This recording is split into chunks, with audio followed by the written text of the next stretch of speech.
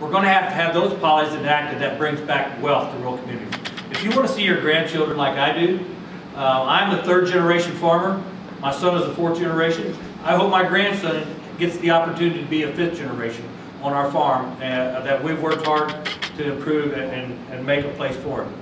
So again, I want to I, I want to thank the Democratic Party. I want everyone to know though, I will work with anyone, anyone who wants to improve uh, the outlook for Missouri family farmers in the state. I thank the Missouri Democratic Party and uh, Chairman Webber for stepping up to the plate and bringing the plight of losing these businesses, of losing our hospitals, of losing our tax base to the forefront. So that discussion will be part of the political dialogue in this state, I hope, for the next election. And I think it says uh, a great deal about where uh, Chairman Webber wants to lead this, lead this party to uh, out in the rural areas to talk about our concerns because I think uh, there's a lot of people who are concerned. And so again, I just want to thank him for his leadership on this.